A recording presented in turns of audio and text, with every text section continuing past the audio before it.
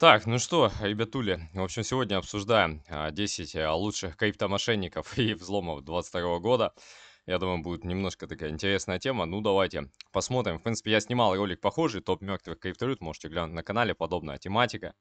Так вот, и а, как бы было потеряно сколько криптосообществом денег. И, кстати, пока я пишу этот ролик, у нас цена пытается про- пробить уровень по XRP, там, по остальным монетам, поэтому я говорил, скорее всего, ну, многие же коррекцию там в этот диапазон, но по факту, по факту, скорее всего, будет у нас укатывание. Ну, может быть, через боковичок какой-то, но пока, как только мы прошиваем вот этот уровень, мы улетаем, вот тут пустота, вот тут пустота, и можем мы лететь стремительно до запросто вот этих вот уровней. Хотя многие считают, что типа не, нихера, этого не будет. У нас будет же, что что, продолжение движения? Ну-ну, ню-ню. Посмотрим. Вот, ну, я, в принципе, не ручаюсь, может быть и будет, но как бы я вижу, что, скорее всего, вряд ли. Могут, конечно, новости все перекрутить, но потому что я увидел, то толп, толпе дали вот эту веру, что это движение будет, ну а по факту, ну, в общем, ладно. Это не тема данного ролика, я глобально жду целей дно ниже десятки, поэтому мне, в принципе, по барабану, что там будет локально. Ну, давайте к сути. В общем, а, несмотря на то, что у нас там были серьезные ловушки, мошенничество, взломы Web 3.0, да, на протяжении всего 2022 года ряд ведущих централизованных тяжеловесов также рухнули. Так вот, что же это у нас было? Краткие факты. Ну и согласно многочисленным отчетам кибербезопасности за последние 11 месяцев 2022 года хакерам и мошенникам удалось украсть сумму более чем а, беспрецедентно 4,2 миллиарда долларов в криптовалюте. Вот так вот. Что на 37 больше, процентов, чем в 2021 году. Хотя в 2021 был бычий рынок. Вот так вот, ребята, прикиньте. А сейчас медвежка, кризис и мошенники отмыли больше бабла даже. Ну, не наводит ни на какие мысли. Ну, можете подумать и написать в комментах. Когда ключевые криптовалюты стоили в 2-2 раза дороже. Вот так вот, да. Даже, даже некоторые и в 5, и в 10 раз, и может даже и в 100 раз. вот. Ну и крупнейшие атаки, как мы видим, это у нас Axie Infinity Ronin, естественно, многопользовательская экосистема Wormhole. Вот, вот так вот. Ну и плюс, конечно, же SLP у нас укаталась, хотя там э, обещали золотые горы, ну а по факту там монет печатается в 5 раз больше, чем их сжигается. То есть там инфляция очень большая, и криптовалюта, понятное дело, что скам. Крах, конечно же, Terra Luna, ее, естественно, алгоритмического э, стабильной монеты, да, э, UST, да, ну и, как мы видим, запускает Ада Кардана, JET, алгоритмический стейблкоин. Также у нас Tron запустил, ну, Tron, и может быть, как-то более-менее додышит, да, и выживет до, следу- до следующей бычки. А вот по поводу Ады Кардана мне не особо особо-то и уверен, потому что ну, действительно, есть риски определенные. Даже, ну, они-то запустили эти стейблкоины после краха Таралуны, то есть наводит на мысли, что им абсолютно без разницы на свое комьюнити. Вот, также еще Анкор рухнул проект, ну и все, что с этим связано, Мира, протокол Мир, да, ну и прочее, прочее, там, Avalanche, кстати, если кто забыл, а, я считаю, что он тоже высокорисковый проект. Почему? Потому что был связан с Луна, и они там взаимодействовали, были в партнерстве, инвестировали друг в друга. Поэтому Имейте это тоже в виду, но многие почему-то про это забыли уже. Также, естественно, крах и драма там вокруг биржи FTX, Alameda и Search, ну, что, в принципе, одно и то же. Плюс там а, та же Сала, ту же Солану они сливали, хотя все говорили, всем говорили, экосистема, фундаментал там, ну и что после того, как они начали сливать там и так далее. То есть и по факту эти криптовалюты могут еще сильнее укатать и укатывают. Поэтому вот эти бредни, что типа вот фундаментал зарешает. Ребята, фундаментал на бычке-то не особо работает. И то отчасти лишь, да, потому что рынок растет. Это просто как позитивный фон дополнительный. А на медвежке вообще не работает, тем более в кризис. Но многие про это забывают почему-то. Вот, ну, несмотря на то, что крупнейшие взломы обсуждаются, ну и, как мы видим, также какие-то поддельные airdропы были, ну, естественно, giveaway, там продолжается вот это развод для меньше 70 IQ людей, э, верующих в халяву, там, вредоносная программа восстановления, ну, там, взломы метамасков, траствалитов, я думаю, тоже все с этим, э, ну, не то, что сталкивались, ну, кто-то, может, и сталкивался, но вообще видел это все, вот, арбитражные схемы и тому подобное, ряд клуб, крупных взломов оказался белыми операциями, злоумышленники возвращали украденные деньги в обмен на внушительное вознаграждение за обнаружение обнаружения ошибок. Ну, естественно, это все э, гонево, как по мне. Почти 12% всех токенов BIP20 и 8% токенов ERC20 являются мошенническими. Вот так вот. Ежедневно запускается 350 новых мошенников. Вот. И в данном обзоре будут называть целенаправленно а, специально, какие действия были запущены, ну и которые были легитимными скамами, да, ну, легальными, ну, насчет легальными не знаю, ну, в общем, вы поняли, ну, а потом, естественно, стали нелегальными после того, как их раскрыли. Ну и взломы, сторонние атаки на проекты, осуществляющиеся без событий инсайдерской работы. Так вот, Ну, как мы видим, основные криптовалюты упали уже там на 80%, GameFi, вот там та же Solana а, упала, медийная, кстати, а, медианная, своя медианная потеря превышает 90%, вот, и плюс там у них э, штат они э, вообще почти весь распустили. Ну и по факту, естественно, самый крупный взлом это Luna, далее я думаю, никому не стоит объяснять. А также еще тут был, получается, однако в 2022 году кто-то начал отправлять UST в пулы на Curve Finance, то есть вот так вот, и также обменивать на токены USDC. Э, ну, то есть он у нас потерял привязку, как минимум, ну и по факту Докон сказал, что вливать ликвидность, ну и вот эта спираль смерти, конечно же, это все было спланировано, как потом выяснилось, спустя две недели после скама, ну, как бы, естественно, все известно постфактум, заранее, ну, имеют информацию только те, кто, а, ну, создавал это все, да, либо участвовал. Поэтому а, также у нас э, Three Arrows Capital фонд, ну, э, ZAS, да, как его называют.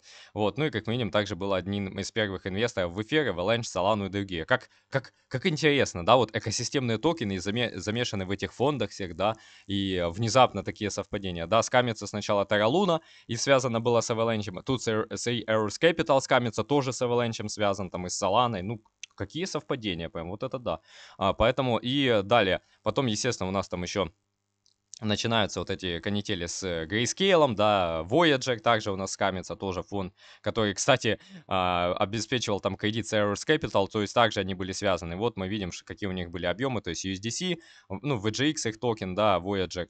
Потом ADA Cardano, тоже совпадение экосистема Doge, ну ладно, ZaraX, KNC, Bitcoin, Dash, Link, EOS, XTZ, XLM, Ethereum, Bitcoin SV, кстати, на, на удивление, обычно его никто не холдил, LTC, Mana, OXT, OMG, DOT, Atom, Bitcoin Cash, Uniswap, BAT, Zcash. Ну, тут, тут еще более-менее. Вот, Celsius, естественно, я думаю, многие тоже слышали. И самое интересное, что, как минимум, а, как и Voyager, он объявил в банкротстве в начале июля. Вот, ну, когда рынки упали там и так далее, поделились, что, в общем, дыра у них в балансе 1,3 миллиарда долларов. А типа до этого они ее не видели. Ну, уже смешно. Вот, ну, понятное дело, FTX, ну, я думаю, тут уже обсуждать нечего. Ну, и самые популярные взломы, конечно же, давайте глянем, что у нас было на английском. То есть это Wormhole у нас был взлом, потом Ронин, Номад, а, вот, а, Бин, э, Бинстолк, ну, я даже не слышал за такие Wintermute, ну и бонус, получается, нам говорят, что а, не нужно поддаваться на эти мошеннические схемы.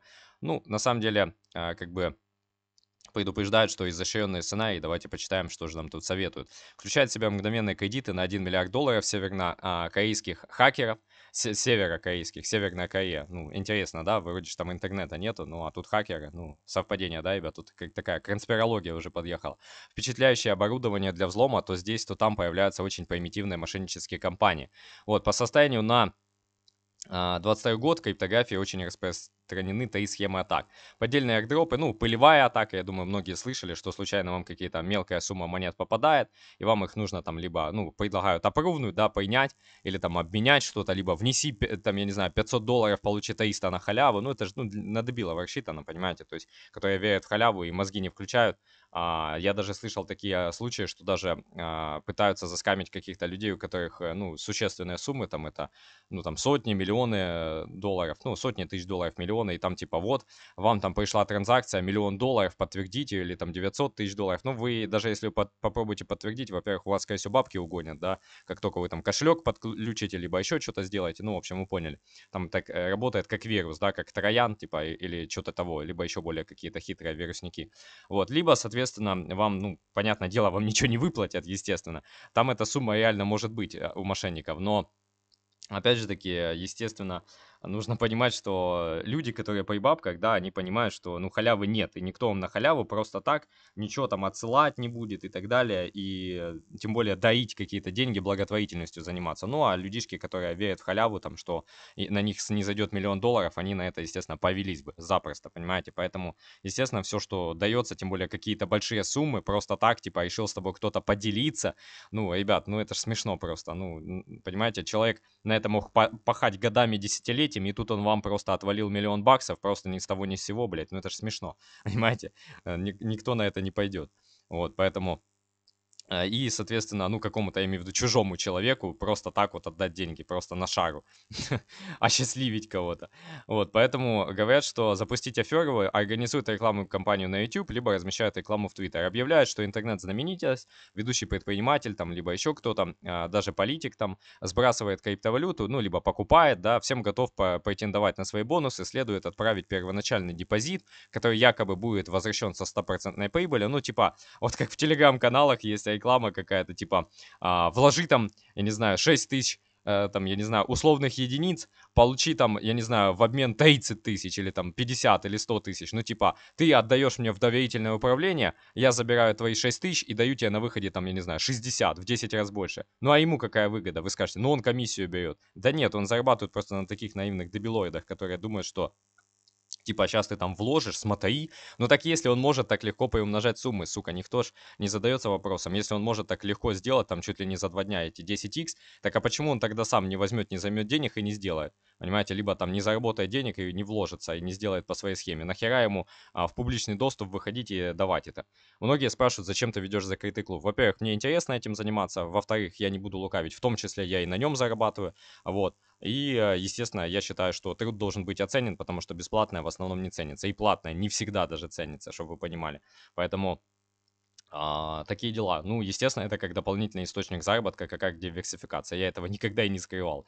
Вот, поэтому ну и плюс э, интересные людям мои рекомендации, конкретные, да, ну я считаю за это, ну как бы время – деньги, поэтому и любой э, специалист, который ценит свое время, ценит свою жизнь, да, и свою экспертность, свой профессионализм, он имеет право брать за это деньги. Большинство, конечно же, берут, но профессионалами не являются. Я считаю, я являюсь, может быть, не самым топовым, но одним из топовых, ну в СНГ комьюнити так точно, да и в англоязычном комьюнити, я же я за пояс заткну любого с его там аналитикой, поэтому и расскажу ему, что и как в этой жизни. Вот, и в плане экономики, там, и в плане криптовалюты. Вот и все. Я, может быть, могу не соображать в технических моментах в плане технологии, но в плане там графиков, либо еще чего-то, я говорю, что я один из лучших, я лично считаю. Вот. Может быть, кто-то считает по-другому, ну, окей, хорошо. Поэтому лучше меня ребята есть, я не спорю. Я у них учусь и равняюсь на них и стремлюсь. Вот, ну, я не зазнаюсь в этом плане. Но в целом, как бы те, кто создают закрытые клубы, вип-чаты, они ни хера не соображают в основном и так далее. Ну, то есть адекватных ребят, ну, пару процентов, ну, может быть, 5, ну, 10 процентов, которые реально зарабатывают там на трейдинге, либо зарабатывают на тех же инвестициях в крипту. Вот и все. Поэтому, ну, вот покажите мне, кто сделал результат в закрытом клубе. А, мы холдили, еще раз говорю, монеты полтора года, ну, год-полтора, то есть мы их набрали еще там на коррекциях, да, и на той же медвежке там и соответственно, на коррекциях в 2021 году, захолдили, и потом на медвежке они дали иксы, и мы забрали 35 иксов. Кто такие результаты имеет? Да никто, блядь, таких результатов не имеет за 22 год. А мы заработали. Вот и все. Поэтому пруфы эти все есть, можете в Google форме посмотреть отзывы людей. Вот, поэтому, ну и по факту, как бы, естественно, люди, когда а, претендуют на бонусы там, или там приватные ключи там вы подключаете, либо еще что-то отдаете, ну, либо вписываете сид-фразу, еще такие даже есть а, люди, которые ведутся даже на это, говорят, что обе группы потеряют свои депозиты или все деньги со своих кошельков. Вот, ну, естественно, никогда не надо отправлять деньги или не надо приватные ключи сет-фразы, либо кошельки куда-то подключать непонятно куда. Вот, а боты ручной работы, там э, как бы какой-то MEF, да, получается, максимальное вознаграждение. Вот, ну и мошенники размещают э, видео или текстовые инструкции о том, как э, создание собственных ботов, чтобы получить доступ к кошелькам и вывести свои средства. Вот, ну и на помощь также еще приходят мошенники, ну, естественно, помочь, помогать людям хотят, ребята. Как это, знаете, как Войтенко говорил, я создал это приложение, чтобы помогать людям. Поэтому, ну, конечно же, ребят, да, блядь, все бизнесы делаются, чтобы бабки зарабатывать, в первую очередь. Какое там помогать людям, ребят? Ну да, я помогаю людям, и я это понимаю, меня это тоже питает, и я, ну, мне нравится помогать и давать рекомендации даже бесплатно. Но большинство людей этого не оценят, понимаете, вот и все. Оценит, ну, процентов 10, 20, ну, 30, может быть, все. Остальные просто либо будут неблагодарными, либо будут э, воспринимать как должное. Ну, такова человеческая сущность, понимаете, вот даже я хоть и благодарный человек, и бесплатно даже ценю, но даже за платный продукт, который ты взял, особенно если отвалил какую-то сумму, да, любую абсолютно, неважно, это сотни тысяч, э, сотни тысяч, сотни долларов, тысячи долларов, там, десятки тем более, то или там за тот же автомобиль, либо за квартиру, либо еще за что-то, да, то, ну, как бы ты понимаешь, что для тебя это более ценно, потому что ты вложился уже, понимаете, либо временем, либо деньгами, либо здоровьем, ну, то есть вот так вот. А если ты ничего не вложил и просто на халяву получил, то ты это не ценишь. И такова человеческая сущность. Вот и все. Поэтому я и создал закрытый клуб, потому что в том числе это дополнительный заработок, ну, и в том числе а, мне приятнее общаться с людьми, с единомышленниками, которые на одной волне, ну, и плюс это своеобразный фильтр, да, а, ну, многие скажут, что, может, это слишком цинично, жестоко, но оно так и есть. То есть фильтр, чем я замечаю, чем больше у человека денег, тем он более адекватный. Ну, такова статистика. Есть адекватные люди и с небольшими капиталами, и бывает человек даже со 100 долларами адекватнее, чем тот, у кого там может быть десятки тысяч долларов, но это лишь исключение. Поэтому Адекватные люди есть с любым капиталом и везде, понимаете, но их единицы, к сожалению. Большинство людей неблагодарные, а, ничего не ценят и хотят все на халяву и так далее. Ну, в общем, вы поняли. Поэтому и э, как защитить себя, естественно, нам рассказывают, что вот размещают фейковые объявления, взломе того или иного проекта, фейковые компенсационные программы, giveaway, ну, то же самое, помните, я рассказывал. Ну и как бы всем, кто интересуется компенсацией, просят выслать свои сид-фразы, либо там кошельки куда-то, блядь, подключить, либо отправить суммы. Ну, короче, схемы, я не знаю, такие детские, но люди все равно, ну, людишки ведутся. Почему? Потому что тупые и верят в халяву, понимаете? Вот прочитайте книгу Амирана Сардарова «Халявы нет», офигеннейшая книга про рынок криптовалют. Ну, те, кто добился уже успеха, да, и зарабатывают уже там от 1000 долларов э, в месяц, как минимум, они и так все принципы, что там указаны, ну, как бы знают, но в целом, если вы прочитаете, то а, особенно если вы не зарабатывали не зарабатываете еще, то вам поможет выйти на такой заработок и а, понять, э, как жизнь устроена и как зарабатывать бабки. Вот и все. Поэтому а, такие дела. Ну и, в общем, надо проверять новости, естественно, все проверять, перепроверять, ну и не надеяться на халяву, потому что любые какие-то крупные проекты не будут, ну, будут делать airdropы, но не будет такого, что вам там, я не знаю, миллионы долларов насыпят или там а, за какие-то простые действия нажми две кнопочки, блядь, э, подключи кошелек, э, кошелечек или там отправь мне 500, я тебе отправлю отправлю 300, или там отправь мне 500, я тебе 1000 обратно отправлю. Ну, я не знаю, но это развод, ну, не знаю, 2000, сука, 8 года, или начало 2000-х, когда интернет только появился, люди верили в такой дебилизм. Но до сих пор находятся люди, которые даже сейчас на это ведутся, уже только в криптовалюте. Вот, и в 2022 году большинство крахов было вызвано а, типа падением цен на криптовалюты, плохим управлением, ну то есть, естественно, кредитов набрались, да, жадностью владельцев централизованных криптовалютных продуктов, ну и почему децентрализация имеет большое значение? Да никакого она значения не имеет и никакой децентрализации нету.